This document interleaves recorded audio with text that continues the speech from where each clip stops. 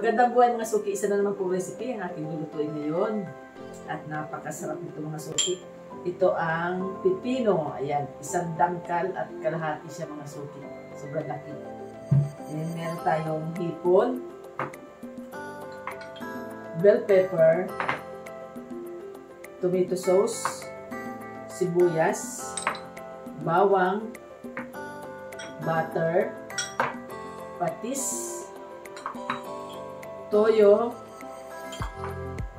pamintang durog, at ang ating olive oil. Yes, samahan niyo mga suki, panoorin yung ating pagluluto. Ito na mga suki ang sunod natin gagawin. Hihiwain na natin yung ating pipino na pabilog lang siya. Yan, ganyan lang.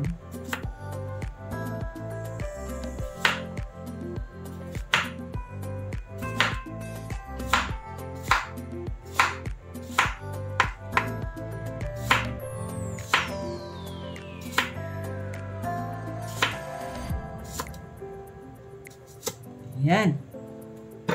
Slice na siya mga suki. Ito na, ito na yung ating pipino. Ayan, dami niya. Ayan, lagay natin siya dito. Ayan.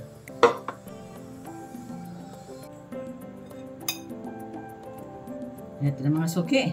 Simulan na natin ating pagluluto. Maglalagay na tayo ng olive oil.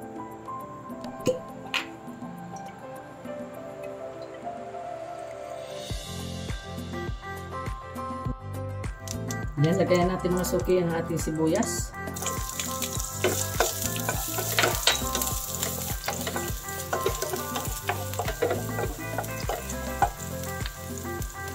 Lagay na rin natin ang bawang.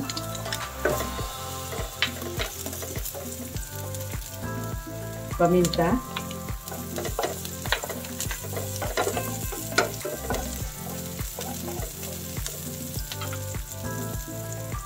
Toyo. Tomato sauce.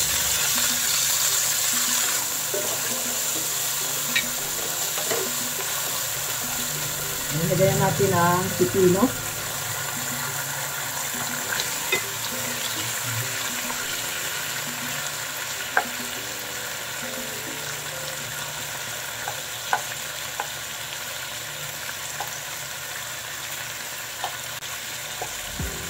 Yan, lagyan natin ng patis.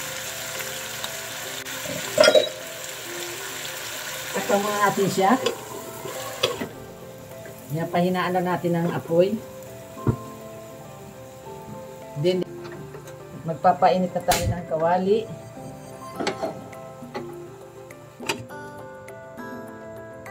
Yan, lagyan na natin ang butter. Tutunawin lang muna natin siya.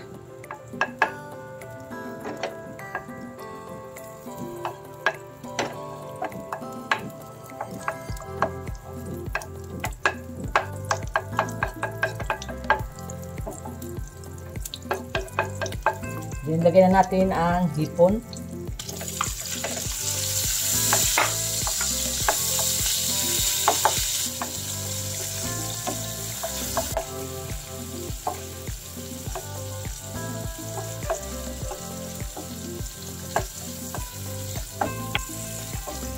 Yan, tingnan na natin siya maluto. Yan, tingnan na natin mga suki. Oh, sarap na oh. Perfect na. Yan, pwede na natin ilagay yung ating bell pepper. Yan. Sarap.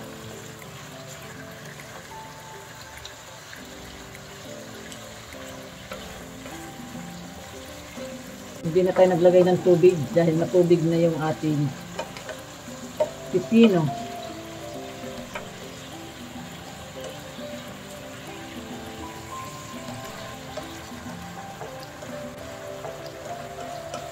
Ayan, saka natin ilalagay mga suki yung ating nilutong hipon. Ayan, sama natin dyan. Ayan. Ayan, sarap mga suki.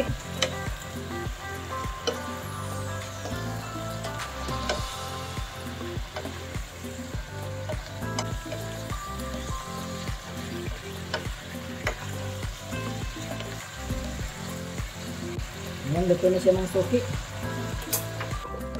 Ayan, ahulin na natin siya. Isa-isahin lang natin siya ng lagay. Kasi baka madurog pag sinandot natin agad. Ayan. Ganyan lang. Na.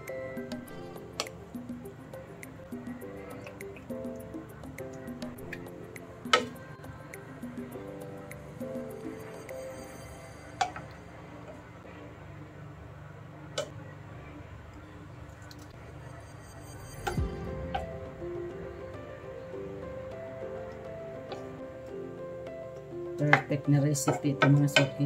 Sarap.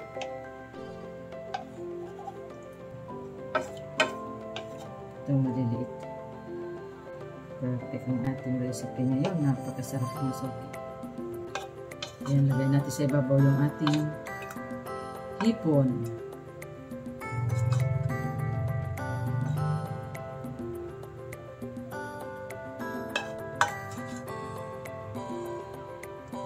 Lagyan natin yung sauce. So,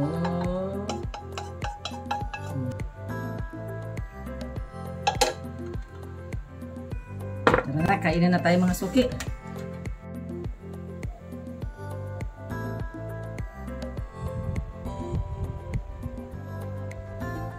Ito na mga suki ang aking recipe. Ayan, napakasarap po.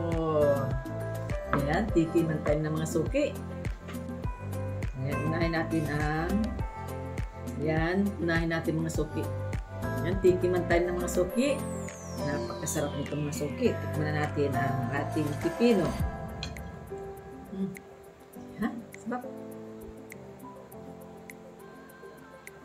Hmm.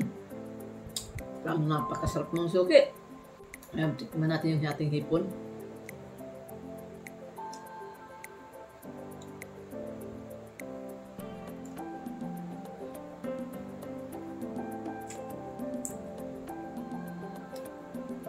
Sama-sama. Sarap. Isa na naman pong recipe ang akin naluto mga suki at napakasarap at napakadali lang po siya lutuin at napakamurang halaga.